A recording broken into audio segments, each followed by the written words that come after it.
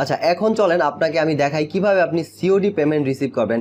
COD payment জিনিসটা কি এটা আগে একটু বোঝেন। ধরেন আপনি আচ্ছা আমি একটা প্রোডাক্ট আগে একটু যাই ধরেন আমি এইখান থেকে অর্ডার ফিল্টার করে ডেলিভার্ড মানে যেগুলো ডেলিভারি ডান হয়ে গেছে এরকম একটা ইনভয়েস আমি ওপেন করব। সো এই ধরেন এই ইনভয়েসটা ডেলিভারি ডান হয়ে গেছে। সো আমি ইনভয়েসটা ওপেন করলাম।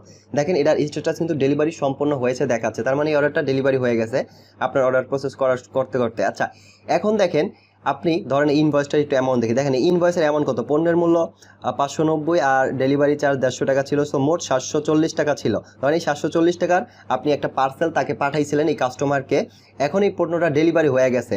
এখন যেহেতু এটা ক্যাশ অন ডেলিভারির মধ্যে পাঠাইছে ক্যাশ অন ডেলিভারির মাধ্যমে আপনি পাঠাইছিলেন, তখন কিন্তু এই আপনি এই কোন যেই কুরিয়ার কোম্পানির মাধ্যমে পাঠাইছিলেন সেই কুরিয়ার কোম্পানির থেকে কিন্তু আপনি ওইটা এই সাতশো টাকাটা রিসিভ করবেন, তাই না? সাতশো সরি সাতশো চল্লিশ টাকা রিসিভ করবেন। এখন রিসিভ করার পর কিন্তু এই টাকাটা আপনাকে জমা করতে হবে, তাই না? আপনার সিস্টেমের মধ্যে। তো এটা কীভাবে করবেন? নাইলে দেখেন এখানে কিন্তু ইনভয়েসে কিন্তু এখনও বাকি দেখাচ্ছে। বাট এই বাকি যদি দেখায়, তাহলে কিন্তু এই ইনভয়েসগুলো বাকির লিস্টের আন্ডারে আপনার থেকে যাবে। তো তখন হিসাবে আপনার গোলমেল বাঁচবে। সো এই জন্য আপনাকে যখন যেই টাকা পাবেন, এটা আপনাকে আপনার ওয়েবসাইটে বা সিস্টেমে এন্ট্রি দিতে হবে।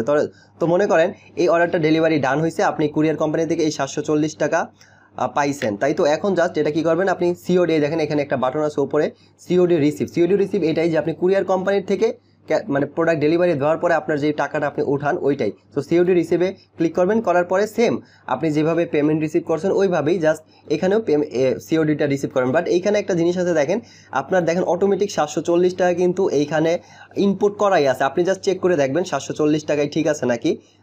তাহলে জাস্ট পরে কনফার্ম দেবেন। এই অ্যাকাউন্টটা সিলেক্ট করবেন ওন ক্যাশ ইন হ্যান্ড করে জাস্ট এই ট্রানজেকশন আইডি এটা দরকার নাই, আপাতত। জাস্ট আপনি নোট রাখলে রাখতে পারেন, এই দুইটা না দিয়ে জাস্ট সেভ দিয়ে দেবেন। আর এখানে দেখেন অটোমেটিক কিন্তু ফিল করাই আছে যে সাতশো চল্লিশ টাকা।